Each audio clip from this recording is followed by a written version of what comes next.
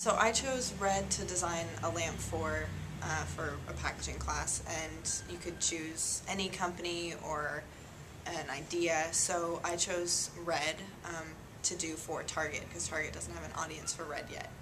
And so building the lamp, I really wanted to stand out and be really symbolic of what red was.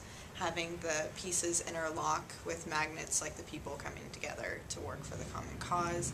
Having it all made out of wood and stained red. Also did a box with laser engraving and you can just build the lamp yourself. So it's quick and easy and you know inexpensive being for Target.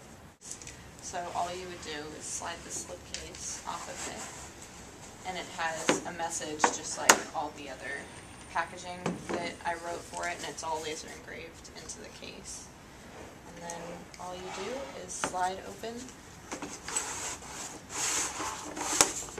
the top and it has all of the working pieces that you would need to build the lamp, including the cord, all the pegs, everything, and they just snap together with the magnet sides. And that's how you build it.